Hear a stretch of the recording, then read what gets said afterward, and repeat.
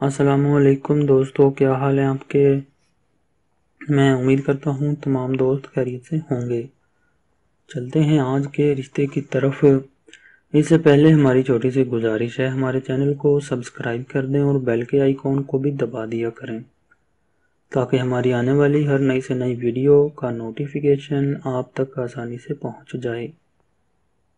تو دوستو، ابھی جو میں آپ کو رشتہ بتانے جا رہا ہوں، یہ جو خاتون ہیں ان کی عمر ہے اڑتالیس سال فورٹی ایٹ ایئرس اور یہ ایک طلاق یافتہ خاتون ہیں۔ تقریباً جو ہیں، چھ سال کا عرصہ ہو گیا ہے، شوہر سے علیحدہ ہوئے۔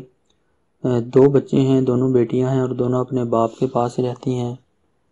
تو اس وقت جو ہیں، یہ خاتون اپنے بھائی کے گھر پہ جو ہے ساہیوال سٹی میں رہتی ہیں۔ دیکھنے میں خوبصورت ہیں، پانچ فٹ تین انچ ان کی ہائٹ ہے۔